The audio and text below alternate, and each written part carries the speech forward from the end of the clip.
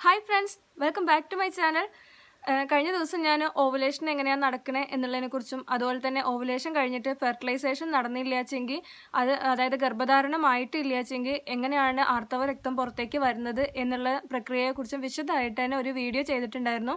അപ്പോൾ സ്ത്രീ ശരീരത്തിലെ മെൻസ്ട്രൽ സൈക്കിളിൽ അതായത് ആർത്തവ ചക്രത്തിൽ നടക്കുന്ന എല്ലാ എല്ലാ സംഭവങ്ങളും ഘട്ടം ഘട്ടമായിട്ട് ഹോർമോണുകളെക്കുറിച്ചും എല്ലാത്തിനെക്കുറിച്ചും വളരെ വിശദമായിട്ട് തന്നെ ഞാൻ ആ വീഡിയോസിൽ ചെയ്തിട്ടുണ്ട്. അപ്പോൾ നിങ്ങൾക്ക് ആർത്തവ സംബന്ധമായിട്ടോ അതല്ലെങ്കിൽ സ്ത്രീ ശരീരത്തിലെ ഹോർമോണുകൾ സംബന്ധമായിട്ടോ എന്തെങ്കിലും പ്രശ്നങ്ങൾ ഉണ്ടെങ്കിൽ ആദ്യമേ നിങ്ങൾ നമ്മുടെ ശരീരത്തിൽ നടക്കുന്ന നോർമൽ ആയിട്ടുള്ള കാര്യങ്ങൾ എന്തൊക്കെയാണ് എന്നുള്ളതിനെക്കുറിച്ച് നല്ലൊരു അറിവുണ്ടായിരിക്കണം. എങ്കിലേ നമുക്ക് അബ്നോർമൽ ആയിട്ടുള്ള കാര്യങ്ങളെക്കുറിച്ച് മനസ്സിലാക്കാൻ കഴിയുള്ളൂ.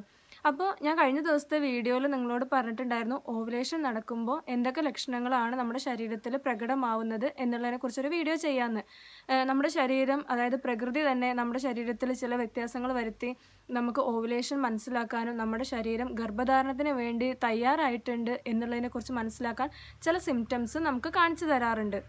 ഓവുലേഷൻ സമയത്ത് സ്ത്രീ ശരീരത്തിൽ ഉണ്ടാകുന്ന മാറ്റങ്ങൾ ഏതൊരു സ്ത്രീക്കും ഒന്ന് വ്യക്തമായി ശ്രദ്ധിച്ചാൽ തന്നെ മനസ്സിലാക്കാൻ കഴിയും.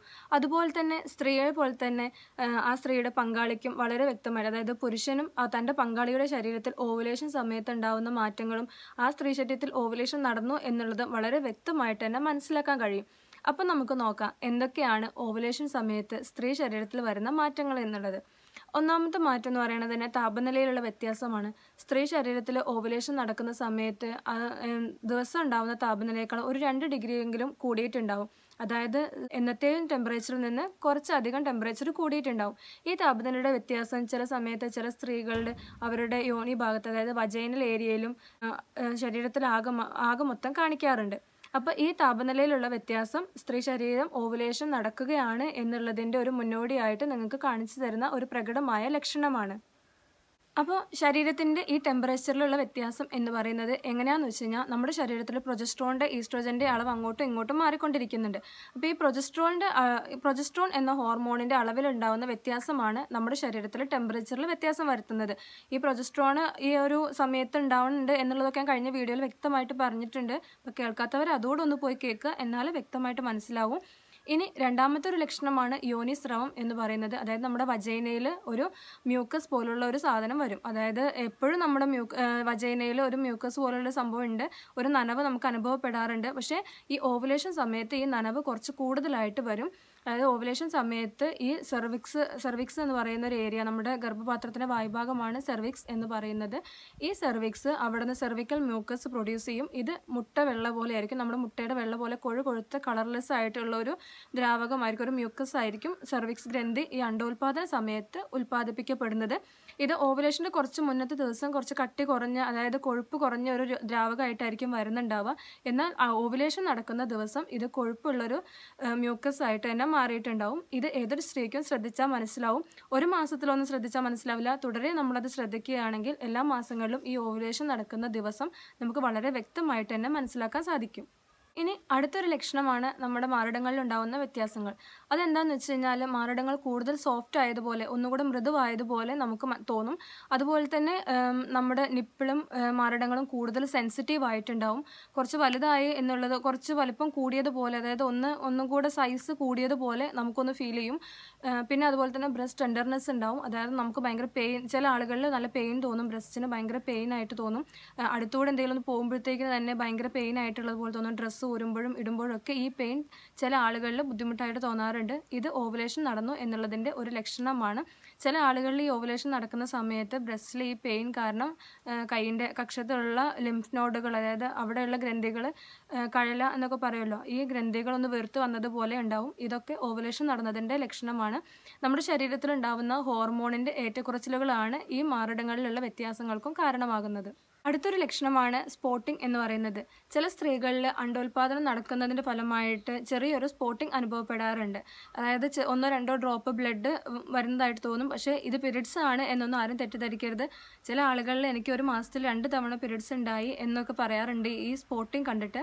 ഈ സ്പോട്ടിംഗ് എന്തുകൊണ്ടാണ് സംഭവിക്കുന്നത് എന്ന് വെച്ച് കഴിഞ്ഞാൽ യൂട്രസ് വികസിക്കുന്നത് കൊണ്ടാണ്. നമ്മുടെ ശരീരത്തിൽ ഈസ്ട്രജന്റെ അളവിൽ ഉണ്ടാകുന്ന വ്യത്യാസം കാരണം യൂട്രസ് വികസിക്കും വികസിക്കും. ഈ വികസനം എന്തുകൊണ്ടാണ് സംഭവിക്കുന്നത് വെച്ച് കഴിഞ്ഞാൽ നമ്മുടെ ശരീരം ഗർഭധാരണത്തിന് റെഡിയായി എന്നുള്ളത് എന്നുള്ളതിന്റെ ലക്ഷണമായിട്ടാണ് ഈ യൂട്രസിന്റെ വികസനം വരുന്നത്. അതിന്റെ ഫലമായിട്ടാണ് ചെറിയ ചില ആളുകളിലെ ചില രീതിയിലുള്ള ചെറിയ സ്പോട്ടിംഗ് പോലെയൊക്കെ കാണുന്നത്. അതുപോലെ തന്നെ മറ്റൊരു ലക്ഷണമാണ് ചില സ്ത്രീകൾക്ക് ഒന്ന് തടി കൂടിയതുപോലെ തോന്നും ഒന്ന് ശരീരം ഒന്ന് വീർത്ത് വന്നിട്ടുണ്ട് എന്നുള്ള പോലെ തോന്നും. ചില സ്ത്രീകളിൽ തലകറക്കം ഉണ്ടാവും തലവേദന ഉണ്ടാവും ചില സ്ത്രീകൾക്ക് വോമിറ്റിംഗ് പോലെ ഉണ്ടാവും അതായത് ഓക്കാനം വരുന്നത് പോലെയുള്ള ലക്ഷണങ്ങൾ ഉണ്ടാവും. അതുപോലെ തന്നെ വയറ് വീർത്തിരിക്കുന്നത് പോലെ തോന്നും. നമ്മുടെ ഗ്യാസൊക്കെ നിറഞ്ഞിട്ട് വയർ എപ്പോഴും ഇങ്ങനെ ഫില്ലായിട്ട് ഇരിക്കുന്നുണ്ടാവില്ലേ അതുപോലത്തെ ഒരു അവസ്ഥ ചില സ്ത്രീകളിൽ തോന്നാനുള്ള സാധ്യതയുണ്ട്. ഇതും ഓവുലേഷന്റെ ലക്ഷണത്തെ സൂചിപ്പിക്കുന്നതാണ്. അതുപോലെ തന്നെ ഞാൻ വേറൊരു കാര്യം വ്യക്തമാക്കി പറയുകയാണ്. ഞാൻ ഈ പറയുന്ന എല്ലാ ലക്ഷണങ്ങളും ഒരാളിൽ തന്നെ ഉണ്ടായിക്കൊള്ളണം എന്നില്ല. ഇതിലെ ചില ചില ലക്ഷണങ്ങൾ മാത്രമേ നിങ്ങൾക്ക് പ്രകടമാവാൻ സാധ്യതയുള്ളൂ. ഒന്നോ രണ്ടോ ലക്ഷണങ്ങൾ കണ്ടിട്ടും അത് ഓവുലേഷൻ ആണെന്ന് മനസ്സിലാക്കാൻ കഴിയ കഴിയേണ്ടത് നമ്മുടെ കഴിവാണ്. അല്ലാതെ എനിക്ക് ഈ എല്ലാ ലക്ഷണങ്ങളും ഇല്ല. അതുകൊണ്ട് എനിക്ക് ഓവുലേഷൻ നടക്കുന്നത് മനസ്സിലാക്കാൻ പറ്റണില്ല എന്നൊന്നും ആരും പറയരുത് കേട്ടോ ഇനി നമ്മുടെ ശരീരത്തിൽ ഉണ്ടാവുന്ന മറ്റൊരു മാറ്റമാണ് സെർവിക് സെർവിക്സിന്റെ പൊസിഷൻ ചേഞ്ച് ചെയ്യുക. അതായത് സാധാരണ നമ്മുടെ വജൈന യോനി ഭാഗത്ത് നിന്നും ഏറെ താഴെയായിട്ടാണ് നമ്മുടെ സെർവിക്സിന്റെ സെർവിക്സ് ഇരിക്കുന്നത്. അതായത് ഗർഭപാത്രത്തിലേക്കുള്ള ഒരു വഴി ഇരിക്കുന്നത് വജൈനയിൽ നിന്നും കുറച്ച് മാറിയിട്ടാണ്. എന്നാൽ ഈ ഒരു അണ്ട അണ്ടോത്പാദന സമയത്ത് അണ്ടം പുറത്തോട്ട് വരുന്ന സമയത്ത് ഓവുലേഷന്റെ സമയത്ത് ഈ സെർവിക്സ് ഒന്നും കൂടെ താഴോട്ട് ഇറങ്ങി വന്നിട്ട് വജൈനയോട് ഒരുപാട് ക്ലോസ് ആയിട്ടിരിക്കും. ഇത് എന്തിനാണെന്ന് വെച്ച് കഴിഞ്ഞാൽ നമ്മുടെ ശരീരം സ്പേമും ഓവും അതായത് ബീജവും അണ്ടവും തമ്മിൽ ഫെർട്ടിലൈസേഷൻ നടക്കാൻ വേണ്ടിയിട്ട് ഗർഭപാത്രം ഒരുക്കുന്ന ഒരു വഴിയായിട്ടാണ് ഇത്. ഒരു വഴിയാണിത്. ഒരു പെട്ടെന്ന് നടക്കാൻ വേണ്ടിയിട്ടുള്ള ഒരു മാർഗമാണ് നമ്മുടെ സെർവിക്സിന്റെ ഈ പൊസിഷൻ ഈ ഒരു ഓവുലേഷൻ സമയത്ത് ഇങ്ങനെ ചേഞ്ച് ആവുന്നത്. ഇതും മറ്റൊരു ലക്ഷണമാണ്. പക്ഷേ ഇത് സാധാരണ എല്ലാവർക്കും ഒന്നും കണ്ടുപിടിക്കാൻ പറ്റില്ല. ചില ആളുകൾക്ക് ഇതൊക്കെ മനസ്സിലാക്കാൻ കഴിയും. ഇനി മറ്റൊരു ലക്ഷണമാണ് നമ്മുടെ റെസ്റ്റിംഗ് പൾസ് റേറ്റ് അതായത് നമ്മൾ വിശ്രമിക്കുന്ന സമയത്തുള്ള പൾസ് റേറ്റ് എന്ന് പറയുന്നത് ഈ ഓവുലേഷന്റെ സമയത്ത് സ്ത്രീ ശരീരത്തിൽ കുറച്ച് കൂടുതലായിരിക്കും. സാധാരണ നമ്മൾ റെസ്റ്റ് ചെയ്യുന്ന സമയത്ത് ഉണ്ടാവുന്ന പൾസിനേക്കാളും കുറച്ച് റേറ്റ് കൂടുതലായിരിക്കും ഈ ഓവുലേഷൻ സമയത്ത് നമ്മൾ റെസ്റ്റ് ചെയ്യുമ്പോൾ ഉണ്ടാവുന്ന റെസ്റ്റിംഗ് പൾസ് റേറ്റ് എന്ന് പറയുന്നത്.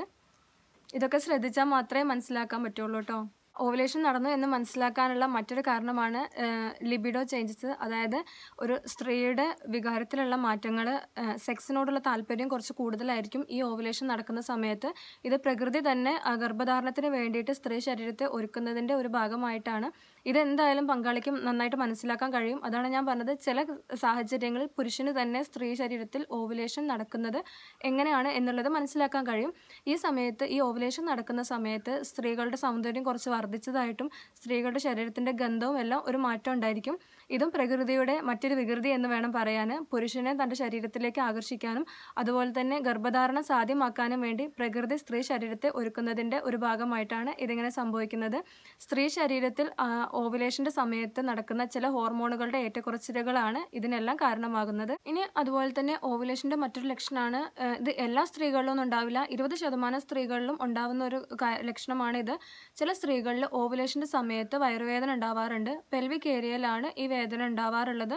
ഇത് എല്ലാ സ്ത്രീകൾക്കും ഇല്ലെന്ന് ഞാൻ ആദ്യമേ പറഞ്ഞിട്ടുണ്ട്. ഇരുപത് ശതമാനം സ്ത്രീകളിൽ വയറുവേദനയ്ക്കുള്ള സാധ്യത കൂടുതലാണ്. ഈ എന്താ പറയുക ഫോളിക്കിൾ പൊട്ടി ഓവം പുറത്തേക്ക് വരുന്നതിന്റെ സമയത്ത് അവിടെയുള്ള മസിൽസിന്റെ എല്ലാം മസിൽ ക്രാമ്പ് വഴിയാണ് ഈ ഒരു വേദന ഉണ്ടാവുന്നത്. പിന്നെ അതുപോലെ തന്നെ മറ്റൊരു ലക്ഷണമാണ് ആ, സ്ത്രീകളിൽ തൊട ഭാഗത്തുണ്ടാവുന്ന കഴല വീക്കം എന്ന് പറയുന്നത് ആ ഭാഗത്ത് തൊടയെടുക്കൽ എല്ലിന്റെ ഭാഗത്തായിട്ടുള്ള ലിംഫ് ഗ്രന്ഥികൾ ലിംഫ് നോഡുകളെല്ലാം ഒന്ന് വീർത്തു വരാൻ സാധ്യതയുണ്ട്. ഇത് നമ്മൾ കൈകൊണ്ട് തൊടയുടെ ആ ഭാഗത്ത് തൊട്ട് നോക്കുമ്പോൾ തന്നെ നമുക്ക് മനസ്സിലാക്കാൻ കഴിയും. ഇത് ഈ പറയുന്ന ലക്ഷണങ്ങളൊന്നും എല്ലാ സ്ത്രീകളിലും ഒന്നും ഉണ്ടായിക്കൊള്ളണം എന്നില്ല എന്നാലും മിക്ക സ്ത്രീകളിലും ഇതിൽ ചില ചില ലക്ഷണങ്ങളൊക്കെ ശരീരം കാണിച്ചു തരും. എന്താണെങ്കിലും ഈ എന്താ പറയുക സെർവിക്കൽ മ്യൂക്കസ് എല്ലാ സ്ത്രീകളിലും സംഭവിക്കുന്നതാണ്. അതുപോലെ തന്നെ ഇതിൽ മിക്ക മാറ്റങ്ങളും നമ്മുടെ ശരീരത്തിൽ ഓവുലേഷന്റെ സമയത്ത് പ്രകൃതി നമുക്ക് കാണിച്ചു തരുന്ന പല ലക്ഷണങ്ങളാണ് ഇതൊക്കെ കൂടാതെ തന്നെ ഈ ഒരു ലക്ഷണങ്ങൾ കണ്ടിട്ടൊന്നും മനസ്സിലാക്കാൻ കഴിയാത്തവർക്ക് ഓവുലേഷൻ കിറ്റ് എന്ന് പറയുന്ന സാധനം മാർക്കറ്റിൽ വാങ്ങിക്കാൻ അവൈലബിൾ ആണ്. ഇതുവഴി ഓവുലേഷൻ കിറ്റ് ഉപയോഗിച്ചിട്ട് നമുക്ക് ഓവുലേഷൻ നടന്നോ ഇല്ലേ എന്നുള്ളത് മനസ്സിലാക്കാൻ കഴിയും. അതുപോലെ തന്നെ നമ്മുടെ ഉമിനീര് രക്തം ഇതെല്ലാം ടെസ്റ്റ് ചെയ്ത് നോക്കിയിട്ട് നമുക്ക് ഓവുലേഷൻ നടന്നോ എന്നുള്ളത് അറിയാൻ കഴിയും. നമ്മുടെ രക്തത്തിലുള്ള പ്രൊജസ്ട്രോണിന്റെ അളവ് അതുപോലെ ഉമിനീരിലുള്ള ഈസ്ട്രജന്റെ അളവ് ഇതെല്ലാം നോക്കിയിട്ടാണ് ഈ ഉമിനീരിൽ നിന്നും രക്തത്തിൽ നിന്നും ഓവുലേഷൻ നടന്നോ ഇല്ലേ എന്നുള്ളത് നമ്മൾ ടെസ്റ്റ് ചെയ്ത് കണ്ടുപിടിക്കുന്നത്. ഈ ലക്ഷണങ്ങളെല്ലാം കാണിക്കുന്നത് ന- ഒരു സ്ത്രീ ശരീരം ഒരു കുഞ്ഞിന് വേണ്ടി തയ്യാറായിക്കൊണ്ടിരിക്കുകയാണ് എന്നുള്ളതാണ്. അതായത് ഗർഭധാരണത്തിന് വേണ്ടി സ്ത്രീ ശരീരം ഒരുങ്ങിക്കഴിഞ്ഞു എന്നുള്ളതിന്റെ സൂചനകളാണ് ഇതിലൂടെ നമുക്ക് ശരീരം പുറത്ത് കാണിച്ചു തരുന്നത്. അപ്പോൾ ഈ ലക്ഷണങ്ങളൊക്കെ കണ്ടുകൊണ്ട് കറക്റ്റായ സമയത്ത് എപ്പോഴാണ് നിങ്ങൾക്ക് ഓവുലേഷൻ നടക്കുന്നത് എന്നുള്ളത് നിങ്ങൾ ഐഡന്റിഫൈ ചെയ്യുക. ഒരു കാര്യം ഞാൻ പറയാം ഈ ഓവുലേഷൻ നടന്നു കഴിഞ്ഞിട്ട് ഈ ഓവത്തിന് കുറച്ച് സമയം മാത്രമേ ഉള്ളൂ നമ്മുടെ ഗർഭപാത്രത്തിൽ പിടിച്ചു നിൽക്കാനുള്ള കഴിവ്. ഒരു നാൽപ്പത്തെട്ട് മണിക്കൂർ വരെയൊക്കെ ഉള്ളൂ മാക്സിമം പിടിച്ചു നിൽക്കുക. അതിനുശേഷം ഈ ഓവൻ നശിച്ചു പോകും. എന്നാൽ സ്പേം ബീജം നമ്മുടെ ഗർഭപാത്രത്തിന്റെ അകത്തോട്ട് എത്തിക്കഴിഞ്ഞാൽ അഞ്ച് ദിവസം വരെ ജീവനോടെ ഇരിക്കാനുള്ള സാധ്യതയുണ്ട്. അതുകൊണ്ട് തന്നെ അതിന്റെ സ്ട്രക്ചറിലൊന്നും മാറ്റം വരില്ല ഈ അഞ്ച് ദിവസത്തേക്ക്. അപ്പോൾ കറക്റ്റായിട്ട് ഓവുലേഷൻ നടക്കുന്നത് എപ്പോഴാണെന്ന് മനസ്സിലാക്കി ആ സമയത്ത് നിങ്ങൾ കറക്റ്റായിട്ട് ഫിസിക്കൽ റിലേഷനിൽ വരികയാണെങ്കിൽ ഗർഭധാരണത്തിനുള്ള സാധ്യത വളരെയധികം കൂടുതലാണ്. അപ്പോൾ ഫ്രണ്ട്സ് ഇന്നത്തെ എന്റെ വീഡിയോ നിങ്ങൾക്ക് ഒരുപാട് ഉപകാരപ്പെട്ടു എന്നാണ് ഞാൻ വിശ്വസിക്കുന്നത്. നിങ്ങൾക്ക് ഉപകാരപ്രദമായ മറ്റൊരു വീഡിയോയുമായിട്ട് ഞാൻ ഉടനെ തന്നെ വരുന്നതായിരിക്കും. അതുവരേക്കും ബ ബൈ